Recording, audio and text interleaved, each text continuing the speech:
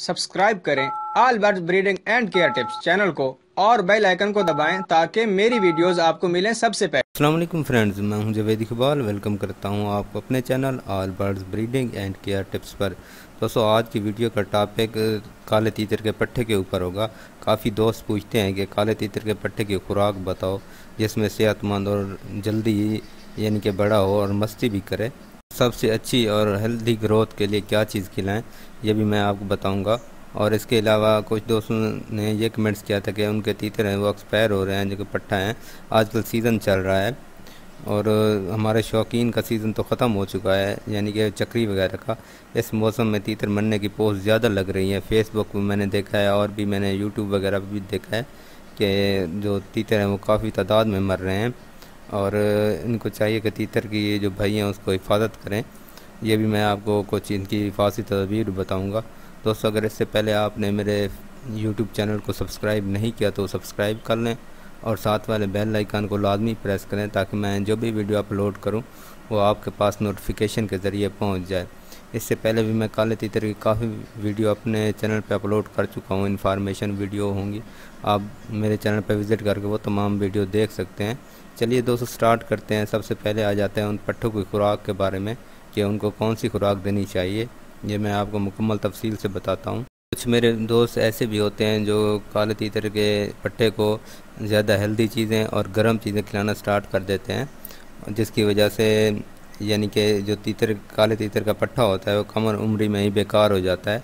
उसको ऐसी चीज़ें आप खिलाएँगे तो वो, या तो वो टॉप करेगा, कल्टियाँ वगैरह लगाएगा, या फिर ये नोक बाजी पे आ जाएगा। इस तरह आप अगर गलतियाँ करेंगे, उसको मुसलसल गर्म चीज़ें खिलाएँगे, या फिर जैसा कि हेल्दी चीज़ें होती हैं, वो आप इसको खिलाएँगे। पट्टे की मैं बात कर रहा हूँ, आप बड़े जो पेड़ है, उसको खिला सकते हैं।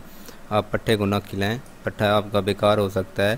फिर उस पट्टे को सही करना काफ़ी मुश्किल हो जाता है। फिर उस्तादों से पूछना पड़ता है, इस तरह की मालूम लेनी पड़ती है। इसलिए आप इस तरह मेहनत करने से पहले, गर्म खुराकें खिलाने से पहले या हेल्दी खुराकें खिलाने से पहले किसी उस्ताद वगैरह से आप कोई बात कर लिया करें, पूछ लिया करें। आप पट्टे को आप ऐसी चीज़ें खिलाएँगे तो वो बेकार हो जाएगा। इसलिए आपने, मैं जो चीज़ें आपको बता रहा हूँ, वो आपने खिलानी है। सबसे पहले आपने काले चने ले लेने हैं। काले चने आपने जैसे दाल भिगो के खिलाते हैं, इस तरह आपने काले चनों को भिगो लेना है। फिर उसके बाद आप सफ़ेद चने भी खिला सकते हैं इनको।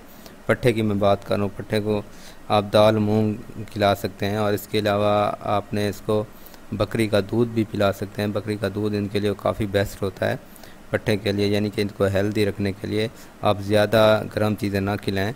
ये बकरी का दूध भी काफ़ी ताकतवर होता है, ये भी आप खिला, पिला सकते हैं इसको सॉरी इसके अलावा सब्जियों जैसे खुराक भी आप खिला सकते हैं, जैसे कि घास वगैरह के टिड्डे वगैरह भी इस तरह के आप खिला सकते हैं।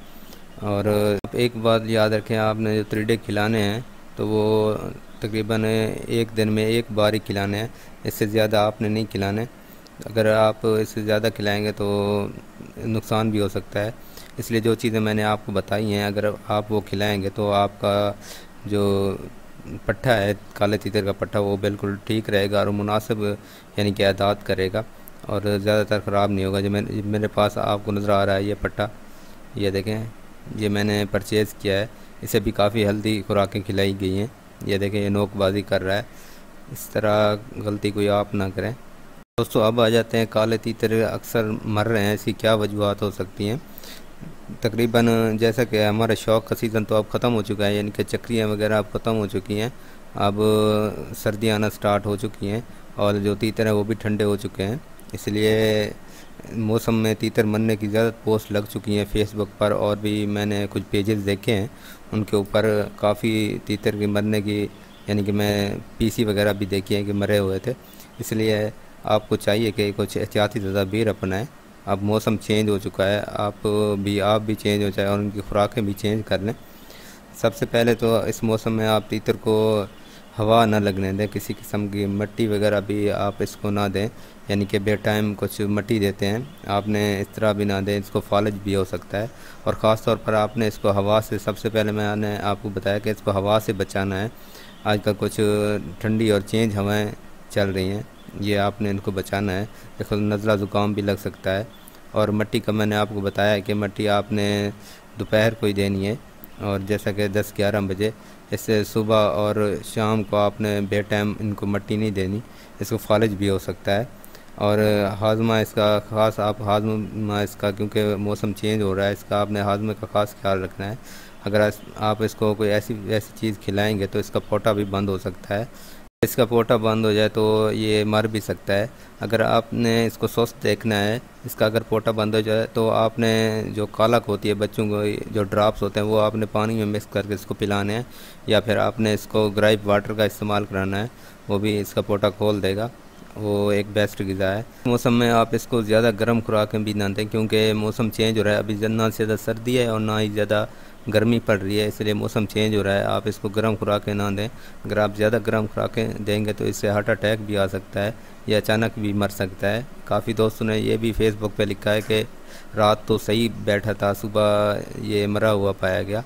इस तरह इसको हार्ट अटैक भी आ जाता है। इसलिए जब भी आप इनको गर्म खुराकें खिलाएँगे तो इसका यानी कि ये मर भी सकता है एक्सपायर भी हो सकता है, ये आप देख लें। अब आ जाते हैं इसको धूप लगवाने की तरह, क्योंकि कुछ नमी वगैरह भी पड़ रही है। तो आपने सुबह सुबह तकरीबन इसको 10 मिनट 12 मिनट इसको धूप लगवानी है और शाम को दोबारा आपने इसको 10-12 मिनट धूप लगानी है। धूप लगवाने की वजह से आपका तीतर का जो पट्टा है वो हेल्दी और एक्टिव रहेगा। तो आपने ये ख़ास ख्याल रखना है, आप इसको मरने से बचाने के लिए मैंने आपको तो कुछ एहतियाती तदाबीर भी बता दी हैं। आपने इस पर लाजमी अमल करना है। अगर मेरी वीडियो आपको पसंद आई हो तो मेरी वीडियो को लाइक करें मेरे चैनल को सब्सक्राइब करें और साथ वाले बेल आइकन को लाजमी प्रेस करें ताकि मैं जो भी वीडियो अपलोड करूँ वो आपके पास नोटिफिकेशन के ज़रिए पहुँच जाए। इससे पहले भी, भी काफ़ी वीडियो मेरे चैनल पे अपलोड हो चुकी हैं काले तीतर के बारे में। वो भी आप विज़िट करके मेरे चैनल को वो तमाम वीडियो देख सकते हैं। इंशाल्लाह इंफॉर्मेशन वीडियो होगी। दोस्तों दुआओं में याद रखिएगा अपना ख्याल रखिएगा। अल्लाह हाफिज़।